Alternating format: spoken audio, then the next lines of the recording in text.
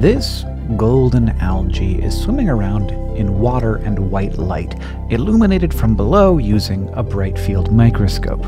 And here we have that Mallomonas sample filmed a day later using a different technique thanks to a brand new, freshly installed microscope. When James, our master of microscopes, saw them for the first time, he got a little emotional because, to quote him directly, the thing I know so well was looking so, so much different than usual. Those differences in how the Mallomonas look are due to a type of microscopy called differential interference contrast, or DIC. Earlier this year, James started a crowdfunding campaign to purchase a new microscope, one that would allow him to use differential interference contrast to produce these images you are seeing now. Now, technically, differential interference contrast is not a type of microscope. Rather, it's a method that enhances contrast. And as you can see, the final product is an image that seems almost three dimensional. Just watch this Stentor caeruleus as it swims across the slide. Its cilia are so prominent that it almost feels like you can touch their vibrating fuzziness and the striations down its body are so sharp that when the stentor contracts, it's like you can feel it pushing inward and then back out again.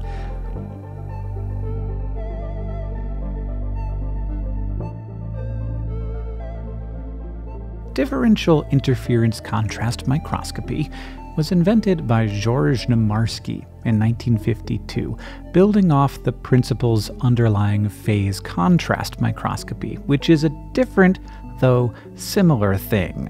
But both of these methods work to translate invisible shifts in light phase that can happen when studying certain samples into visible changes in light amplitude, which we see as changes in light intensity and as a result, both techniques enhance contrast and let us see parts of the microcosmos that might be invisible with regular bright field microscopy. But phase contrast microscopy and DIC shift and work with light in different ways to accomplish this goal. How do they do it? Well, if you've ever taken an optics course, you will remember how terrible that was. But very basically, phase contrast and DIC are two ways to take advantage of a strange reality. Light actually travels further through some materials than others. Kinda. The optical path length is a function of both the distance between two points and the refractive index of the material the light is traveling through. Basically, denser samples have longer optical path lengths. Phase contrast microscopy takes advantage of that, making areas with longer optical path lengths look darker. DIC, on the other hand, doesn't make areas that are denser darker. It uses some very cool optics to create sharp contrast in areas of rapid change in the optical path length. So the faster the gradient from more to less dense or vice versa, the more contrast you see. But it's also important to note that while these images are the result of light traveling through a sample, they are not an actual topographical map of an organism. DIC microscopy is a technique, but it does require certain physical additions to a microscope. For one thing, we need to split light apart. So, first, we have a prism that splits polarized light into two orthogonal rays of light that will then pass through the sample and interact with it in different ways. And then there's a second prism that recombines those two rays after they've traveled through the sample, forming an image based on the differences those two beams of light experienced for our eyes and cameras to see. In addition to these prisms, this technique relies on having higher quality objectives than what we've been using in the past. The objectives are the little lenses at the bottom of the microscope that actually do most of the magnification. Not many people would realize this, but the objectives we use for Journey to the Microcosmos are some of the cheapest and most common types of objectives. They're known as achromatic objectives. But while these objectives produce so many of our favorite images, James needed a microscope update to be able to do differential interference contrast. So, with help, perhaps including some from you, James bought a new Zeiss microscope. It took eight weeks for it to arrive, which is a long time to wait.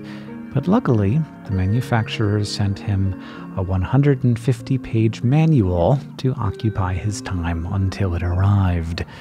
When the microscope finally showed up, James still had to wait for an engineer to install the nearly 50 pound machine, but he didn't waste any time. James went out to gather his precious Mallomonas and prepared a slide that night keeping it stored in a humidity chamber so that he could look at it as soon as the microscope was ready. The next day, the Zeiss engineer took three and a half hours to put all the pieces together and set everything up. But from there, well, it was all on James to observe what he could and experiment with his new microscope.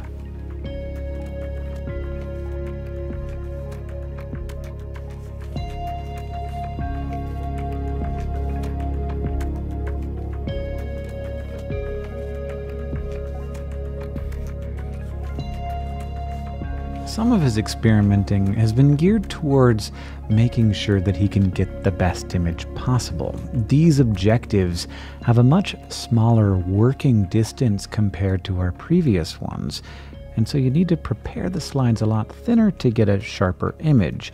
So, even for our master of microscopes, there was somewhat of a learning curve to make sure he was getting videos that were as sharp and vivid as he wanted. But some of the experimenting is based out of that most exciting thing of all curiosity. He's removed some of the prisms to see how it affects the footage and added a magnifying glass over the light source to scatter the light in different ways. That's the joy of the microcosmos. It is so infinite there's its own objective existence full of so many more organisms than we'll ever be able to identify. But there's also the infinite nature of how we experience it, of how our own view of this world is shaped by the many different tools we use to observe it. And maybe that's the case all the time. That what we see is as much about how we view the world as it is about the world itself the same thing with a different lens, a different technique, a different base of knowledge can look completely different. As we start our third season of Journey to the Microcosmos, we hope you will continue to join us through both our new and old lenses as we uncover more of this hidden, unending world. Thanks for coming with me on this journey as we explore the unseen world that surrounds us. And guess what? We have new merchandise. We have algae socks. We also have a new coloring book so you can spend a little time with your favorite microbes, relaxing, zoning out, letting yourself just be for a little while. Thank you, of course, to all of these people on the screen right now. They are our patrons on Patreon. These folks are what make this channel possible. If you'd like to join them in supporting us, check us out at patreon.com slash journey to micro. If you want to see more from our master of microscopes, James Weiss, you can check out Jam and Germs on Instagram, where you can see more great stuff from his new microscope. And if you want to see more from us, there is always a subscribe button somewhere nearby.